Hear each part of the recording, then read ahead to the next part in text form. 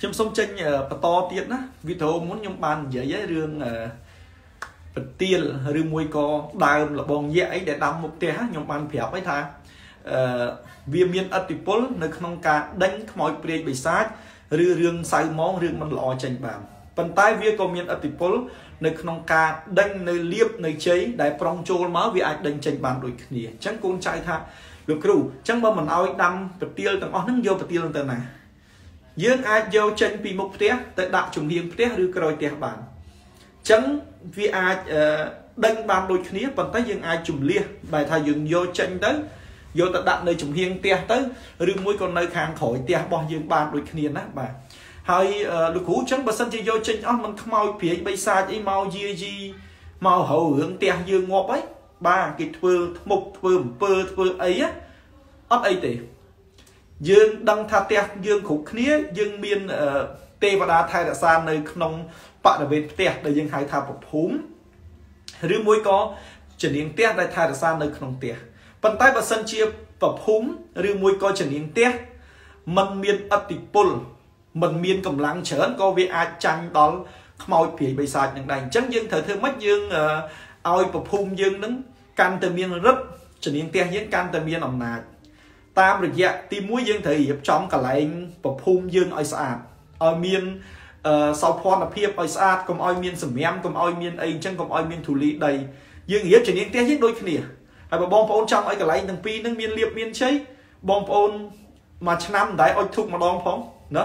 មួយឆ្នាំមិនដែរសម្អាតម្ដងផងនៅកក្រិចនៅអញេអងៃនៅអីហ្នឹងអាហ្នឹងក៏អត់មានអំណាចអត់មានរិទ្ធដែរអញ្ចឹងបងប្អូនគួរតែអាសាអុជធុបសែនព្រេនអាសាបោសសម្អាត អាសារៀបចំអីអីទាំងអស់ហ្នឹងគឺអស់ទាំងអស់ហ្នឹងគឺនឹងមានអតិពលឡើងវិញអញ្ចឹងកាលណាមានអតិពលឡើងវិញ គឺវាជាពេលមួយដែលបងប្អូនអាចអាចឈ្នះអស់រឿងមានសត្រូវហើយប៉ុន្តែបើមួយឆ្នាំតន់អុចធុបប្រភពម្ដងផងមួយឆ្នាំតន់អឺសែនជំនាញផ្ទះម្ដងផងអញ្ចឹងអត់បានទេណាបាទការរៀបចំផ្ទះនៅក្រោយពេលពិធីបុណ្យចូលឆ្នាំ ចិនក្រោយមកតែយើងត្រូវរៀបចំផ្ទះយ៉ាងម៉េចដើម្បីទទួលបានលៀបទទួលបានជ័យហើយមានហុងស៊ុយឲ្យហេងនៅក្នុងឆ្នាំ2023នេះហើយលោកគ្រូនឹងនិយាយច្រើនពាក់ព័ន្ធ với ការរៀបចំផ្ទះនេះប៉ុន្តែនៅក្នុងពេលនេះលោកគ្រូសូមលើកឡើងនៅចំណុចមួយដែលកូនចៅទាំងអស់គួរមានការឆ្វេងយល់ហើយសូមបញ្ជាក់ថាវីដេអូនេះគឺជម្រាបជូនលោកអ្នកណាដែលមានជំនឿណាបាទ លោកអ្នកមួយចំនួនមានជំនឿថាបើសិនជាយើងដាំនៅរុក្ខជាតិជាប្រភេទមានបន្លាច្រើនណាបាទដូចជាដើមលបងយក្សឬមួយក៏ជាបន្ទាលដែលអំបូរលបងយក្សដែរណាបាទដូចលបងយក្សមានបន្លាច្រើនហ្នឹងយើងជឿជាក់ថាវាអាចដេញនៅខ្មោចព្រាយបិសាចឬមួយក៏យើងអាចការពារនៅរឿងរ៉ាវមិនល្អពពួកអមនុស្សអីជាដើមការដែលបងប្អូនគិតយ៉ាងដូចនេះ ឬមួយក៏ធ្វើហ្នឹងវាគឺជាការមួយដែលត្រឹមត្រូវខ្ញុំអត់បដិសេធទេវាត្រឹមត្រូវការដាំពទាលលបងយៈការដាំអីស្តៀងលបងយៈហ្នឹងគឺវាត្រឹមត្រូវពិតមែនប៉ុន្តែបងប្អូនត្រូវដឹងថា វាមានអនុភាពនៅក្នុងការដេញនៅឧបទ្រពចង្រៃវាមានអនុភាពនៅក្នុងការដេញនៅខ្មោចព្រាយបិសាចបានប៉ុន្តែប្រភេទពទាលដែលមានបលាច្រើន ដូចជាលបងយៈដូចជាអាពទាលដែលស្តៀងលបងយៈហ្នឹងក៏វាអាចមានអនុភាពនៅក្នុងការទប់ស្កាត់នៅលៀបដែលចូលមកនៅក្នុងផ្ទះរបស់យើងដែរអញ្ចឹងផ្ទះគឺជាកន្លែងស្នាក់អាស្រ័យផ្ទះគឺជាកន្លែងដែលយើងរស់នៅបើសិនបើយើងដាំនៅពទាលទាំងអស់នេះនៅមុខផ្ទះយើងអាចដេញនៅគ្រោះចង្រៃអាចដេញនៅខ្មោចព្រាយបិសាចបានប៉ុន្តែ ពទាលទាំងអស់នោះក៏វាអាចរុញនៅលៀបចេញផងដែរអូម៉ាថាលៀបប្រុងចូលមកហើយគឺវាក៏នឹងចេញទៅវិញដោយសារតែឥទ្ធិពលនៅពទាលទាំងអស់នេះអញ្ចឹងបើសិនជាយើងចង់បានលៀបចង់បានជ័យយើងគួរតែមើលផ្ទះយើងថាយើងមានដាំប្រភេទពទាលមានបលានឹងអត់បើមានទេ គួរតែយកចេញដាក់ចំហៀងក្រោយផ្ទះទៅហើយបើសិនជាទុកទេចាំមើលមកថាយើងមានលៀបមានជ័យចូលឯអត់ណា ជំរាបសួរបងប្អូនកូនចៅសិស្សគុណទាំងអស់ជាទីគោរពណារីករាយឆ្នាំថ្មី ឆ្នាំចិនថ្ងៃនេះចូលឆ្នាំចិនទី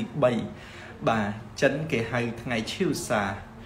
បន្តដើរលេងបន្តតอมតំណមសបាយរីករាយកុំក្តៅចិត្តកុំអីណាបាទកុំជេរកូនជេរចៅអីអឺបន្តវីដេអូដោយសារមាន សំណួរសួរច្រើនតាក់ទងជាមួយនឹងការលើករាសីខ្លួនឯងតាមរយៈការឲ្យទៀនទៅតាមអាយុ ហើយបងប្អូនមួយចំនួនមានការ comment សួរច្រើនអញ្ចឹងខ្ញុំអត់អាចតបនៅក្នុងការឆ្លើយគ្រប់គ្នាបានទេអញ្ចឹងថ្ងៃនេះខ្ញុំសូមឆ្លើយជាសរុបចំពោះការរៀបចំនៅគ្រឿងអំណោយដើម្បីយកទៅចែកជូនអ្នកដតីដែលយើងគិតថាយើងឲ្យគេទៅហើយគេសប្បាយចិត្តណាបាទឲ្យអ្នកដតីឲ្យគេឲ្យគេសប្បាយចិត្តបើឲ្យគេមិនសប្បាយចិត្តទេអានឹងមិនឲ្យទេ ណាបាទអញ្ចឹងអ្នកដែលសប្បាយចិត្តបានន័យថាអ្នកដែលអត់អ្នកដែលមិនសូវសបោសប្បាយអញ្ចឹងអំណោយហ្នឹងគឺយើងរៀបចំជាចំនួន តាមអាយុរបស់យើងឧទាហរណ៍ថាអាយុ30អាយុ40អីអញ្ចឹងណាបាទអញ្ចឹងឧបមាថាយើងអាយុ40យើងរៀបជា40កញ្ចប់អញ្ចឹងទៅឬក៏40សម្រាប់អញ្ចឹងទៅតាមអ្វីដែលយើងមានណាបាទ ចឹងការរាប់ឆ្នាំគឺយើងរាប់តាមឆ្នាំខ្មែរអញ្ចឹងណាបងប្អូនណាបាទខ្ញុំឧទាហរណ៍ថាឆ្នាំឆ្នាំអីចឹងឆ្នាំចអាយុ30គុតរកា31វោក32ចឹងទៅเนาะបាទមួយម៉ែ33មួយមី34មួយសាញ់35រោង36ថោះ37 បាទខាល38ឧទាហរណ៍អញ្ចឹងបើខាល38រៀបចំ38ទៅហើយយកទៅចែកជូនអ្នកណាដែលយើងគិតថាយើងឲ្យគេទៅគេសប្បាយចិត្តណាបាទចឹងអ្នកដែលអត់អ្នកដែលអីចឹងណាយើងយកដាក់បាតលោកក៏បានយើងឲ្យអ្នកសុំទានក៏បានយើងឲ្យអ្នកជំងឺក៏បាន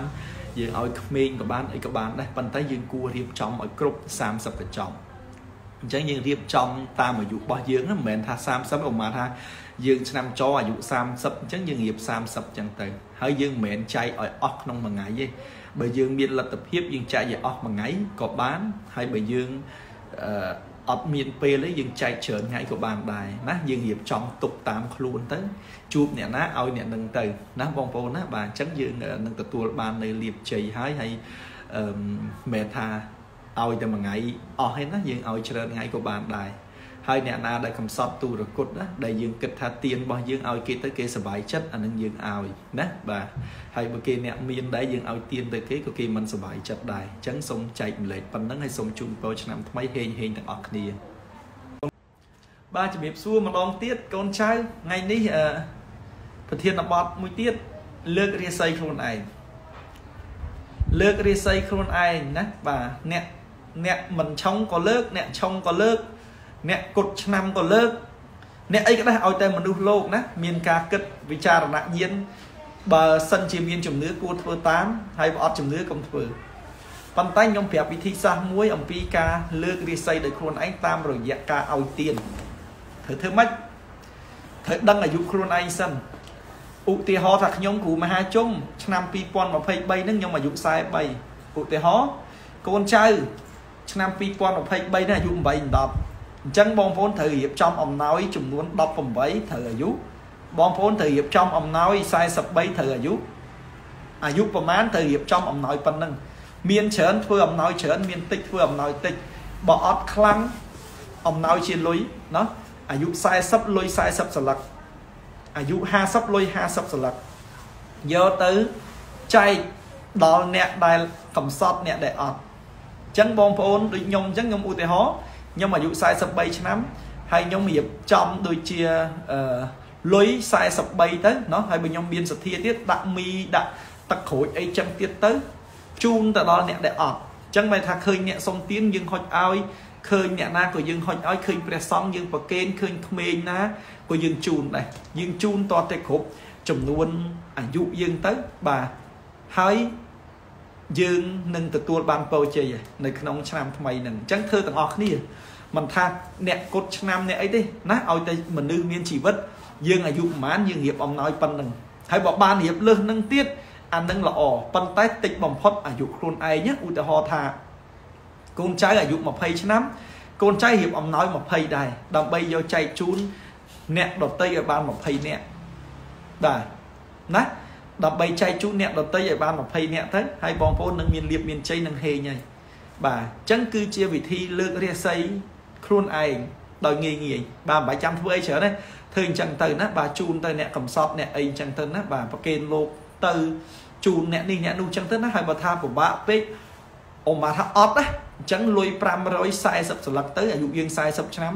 ហើយយើង40ហ្នឹងយើងទុកជូនអ្នកណាមួយស្លឹកមួយស្លឹកមួយស្លឹកម្នាក់ទៅគ្រប់40ស្លឹកទៅយើងឈប់ជូនទៅបានន័យយើងហេងហើយហើយបើយើងមានធនធានលើសហ្នឹងយើងអាចជូនលើសហ្នឹងទៅយើងអាយុ50យើងជូន100ក៏បាន200ក៏បានដែរប៉ុន្តែកុំឲ្យតិចជាងអាយុចាណាជូនតិចជាងអាយុគេថាថយវិញអាហ្នឹងក្បួនណាបងប្អូនណាបាទ